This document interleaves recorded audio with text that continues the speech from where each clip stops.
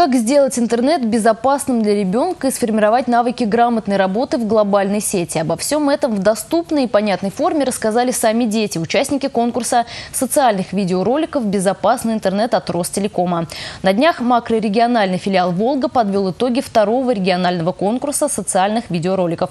Именно победителей узнаете из сюжета. Я с вами прощаюсь. До завтра.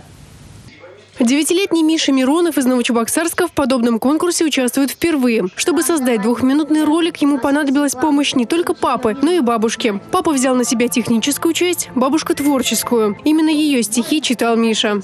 А когда наступит время, подрастем и я, и ты. Я желаю непременно с интернетом стать на «ты». Мой ролик был о спаме. Спам – это вред для компьютера.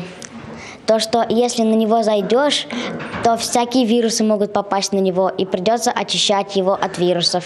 Теме вирусов, виртуальных мошенничеств и прочих опасностях, которые таит в себе интернет, посвятила свой ролик еще одна жительница Новочебоксарска Анна Александрова. Про вирусы я тоже там много делала.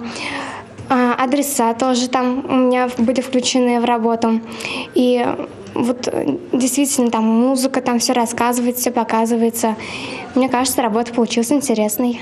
К слову, в этом году на региональный конкурс поступило 18 работ от 20 участников из Чебоксар, Новочебоксарска, Канаша, Алатыря, поселка Кугеси, сел Кувакина и Синьялы. Причем именно из Новочебоксарска пришло больше всего видеороликов – 7. Согласно условиям конкурса, в этом году участие в нем могли принять не только школьники, но также учащиеся первых, вторых курсов, профучилищ и техникумов. Все видеоматериалы оценивало независимое жюри. Специалисты Министерства образования Республики, Управления Роскомнадзора, сотрудники Ростелекома. В итоге были выбраны по одному победителю в каждой из трех возрастных категорий. И места распределились следующим образом. В возрастной группе от 8 до 10 лет первое место занял Михаил Миронов из Новочебоксарска. В группе 11-13 лет Данил Казанов из Чебоксар. В группе 14-17 лет Владимир Харитонов из поселка Кугеси.